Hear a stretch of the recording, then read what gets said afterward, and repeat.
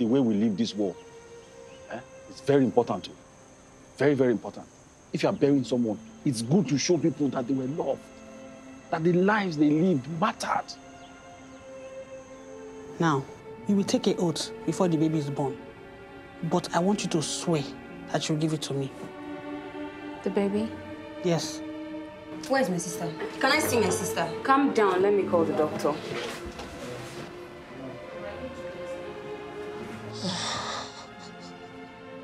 Your father is not a greedy man. Legally, her property is to be shared among the family. I As a- will as a die parent. before he touch that one. Are you normal? Engineer,